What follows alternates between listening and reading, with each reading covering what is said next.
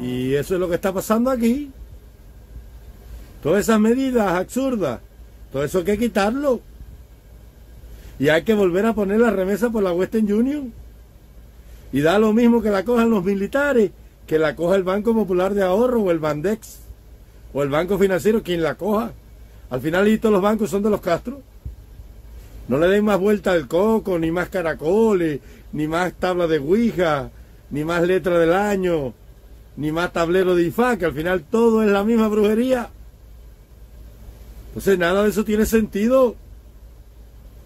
Porque si tú dijeras, eh, las medidas, cierran la frontera, hablas con los gobiernos de la región para no permitir el tránsito de los nacionales cubanos y hacemos una gestión diplomática internacional, yo te digo, ahí sí, ahí sí porque la gente se va a tener que revelar porque la gente no se va a dejar morir de hambre. Pero con la frontera abierta y con Centroamérica país por país como corredor y la gente vendiéndolo todo y vendiendo botes y el servicio guardacosta cogiendo a inválidos, a no inválidos, a minusválidos, a todo el mundo. Con 70 mil personas que han pedido asilo a la frontera en tres meses, ¿qué comunismo se va a caer? Y la viejita pasando hambre. Y ya se murió una niña por falta de ambulancia. Por falta de combustible. ¿Por qué? Por todas esas mismas sanciones. Porque no es verdad que los comunistas se lo roban todo. Algo se dejaba para el pueblo.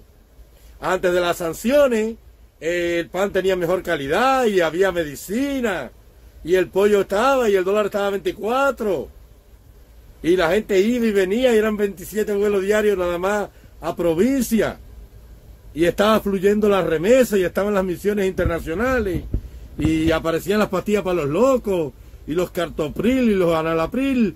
Y había cemento caro, pero, pero no a la barbaridad que hay hoy.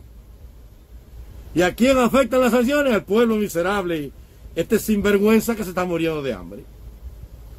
Y tú dijeras, eh, hay un compromiso serio de la oposición, del exilio, del gobierno y las autoridades regionales para echar abajo esto. Digo, así está bien.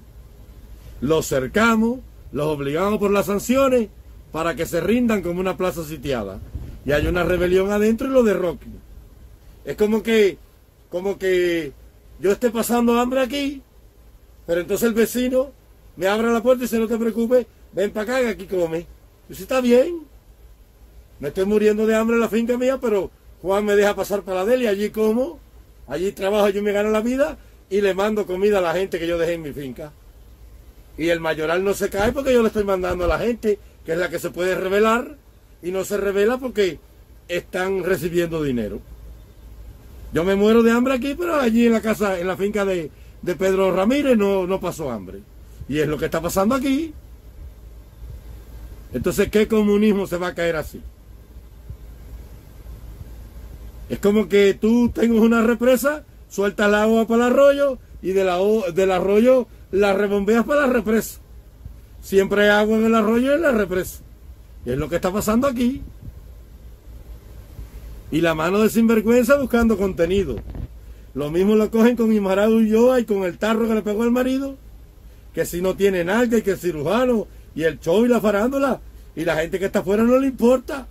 Dando like rating porque tienen el refrigerador lleno de comida, viven en el capitalismo y resolvieron los problemas materiales de su vida. Y dando like y entreteniéndose. Y las plataformas creciendo con el contenido que sale de la cantera del dolor, de la miseria, el sufrimiento del pueblo de Cuba, como la niñita de 10 años que murió el otro día porque le dio una crisis epiléptica y no había ni combustible ni ambulancia. Y tú me dices, sí, pero el régimen tiene para comprar miles de automóviles. ¿Y qué?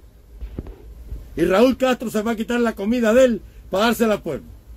No, Raúl Castro le estaba dando lo que le sobraba de la inmensa fortuna que venía de la remesa de afuera que hoy no llega. Y las remesas tienen sentido si, si buscan como objetivo que el pueblo se revele, pero, pero abriendo la puerta de escape, ¿quién se va a revelar? ¿Quién va a salir a protestar para que le echen 30 años cuando puede vender la casa e irse y ya resolvió su problema? Y eso es lo que está pasando aquí. Entonces basta ya de cuentos, de embeleco, de chisme y brete. Todo es una mentira, chicos.